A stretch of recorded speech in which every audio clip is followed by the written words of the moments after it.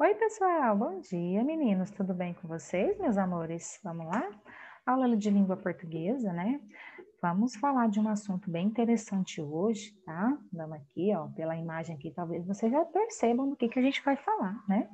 Vamos lá? A gente vai falar um pouquinho, meus amores, de relato pessoal, tá? Vou explicar um pouquinho para vocês, a gente vai ler aqui juntos, né? Um pouquinho mais sobre esse gênero textual. Então, o relato pessoal é um gênero textual com a função de documentar memórias ou vivências de um indivíduo ou até mesmo de um grupo. Esse gênero ele é, ele é muito presente nos ambientes escolares, mas também em editoriais de literatura, páginas de internet ou até mesmo no cotidiano, pelo compartilhamento de experiências diárias, né, de algo que acontece ali no dia a dia né, da pessoa. O gênero possui tempo, espaço, personagens e narrador não ficcional, e sua estrutura divide-se em título, introdução, desenvolvimento, conclusão, tá? Então, esse gênero, ele possui, né, tempo, espaço, personagem, narrador não ficcional, ou seja, narrador, ele realmente é verídico, tá? E a estrutura dele é bem interessante, mas mais na frente eu vou explicar para vocês essa questão do título, da introdução, desenvolvimento, da conclusão, ok? O relato pessoal se assemelha a uma narração não ficcional, pois conta histórias verídicas de um sujeito, ou seja, algo que realmente aconteceu. Além de conter né, elementos comuns entre os tipos textuais, como personagem, tempo e espaço, entretanto, uma diferença básica entre eles é que, segundo alguns autores, o relato, além de não possuir narradores fictícios, né, é, como é possível na literatura, foca-se na documentação histórica e não na construção da estética, da artística, tá? Então, por quê? Porque é, eles não possuem o quê? Narradores fictícios. Os narradores de um relato pessoal são pessoas, né? São uh, que realmente está relatando algo que de fato aconteceu. Por isso que chama-se relato pessoal. Sendo assim, pode-se afirmar que um bom relato pessoal propõe-se a documentar com veracidade uma sequência de fatos de, de alguém, né, de fatos da, da realidade de alguém, por debruçar-se em experiências que já ocorreram. Então, o texto ele apresenta o quê? Os verbos lá no passado, justamente porque porque a pessoa vai relatar experiências que já ocorreram, né, que já passou. Por isso que o texto ele vai apresentar os verbos lá no passado, indicando que tais fatos já ocorreram, já aconteceram, né? Aí nós temos aqui, né, um menino pensativo aqui fazendo um relato pessoal.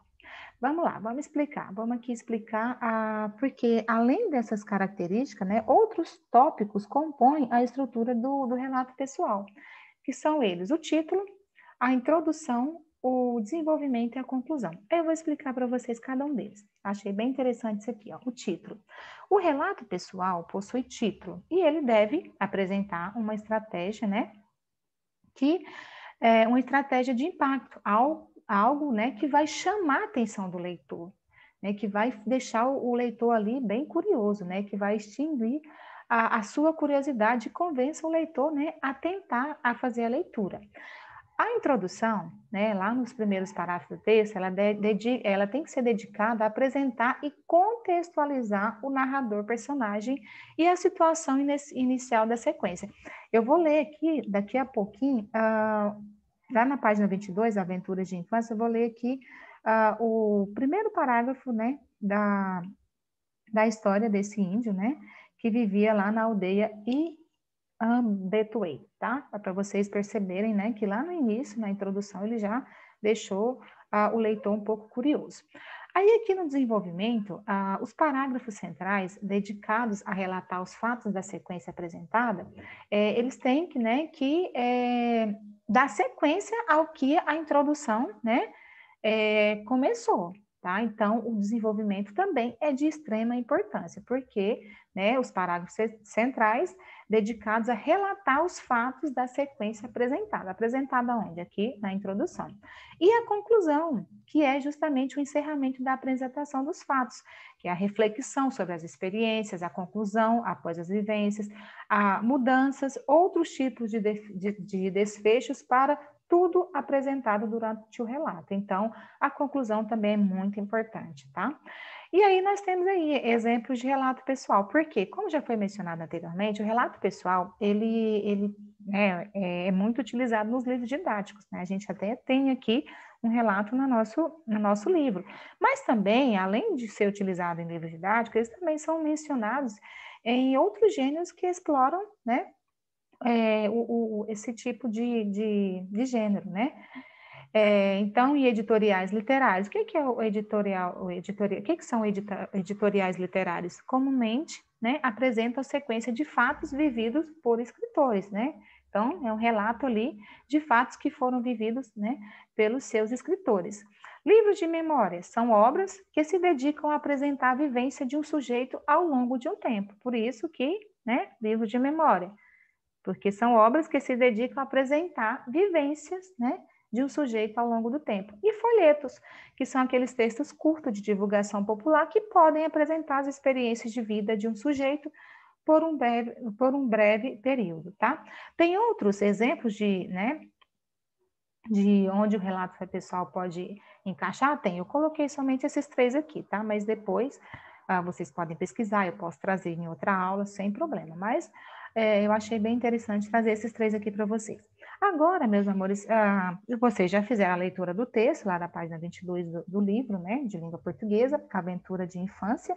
Eu vou ler aqui o primeiro parágrafo que fala assim, ó, foi na aldeia Iambetuei, onde vivi parte da minha infância, que aprendi muito do que sei hoje, caçar, nadar, andar pelo mato, ouvir histórias e viver aventuras eram as minhas atividades favoritas. Lembrando que o relato pessoal, ele é em primeira pessoa, tá bom? Porque você está relatando algo que aconteceu com você mesmo, ok?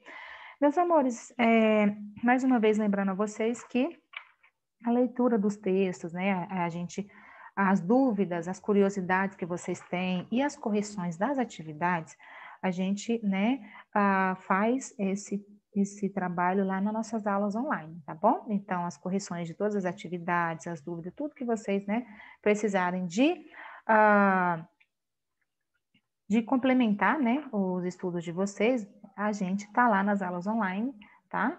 E é só vocês acompanharem, tá bom? Vão ser todos muito bem-vindos às nossas aulas online. Obrigada pela companhia de vocês e por hoje é só, pessoal. Um grande beijo, um abraço bem apertado. Se cuidem e até um próximo momento. Tchau, bom dia, meus amores.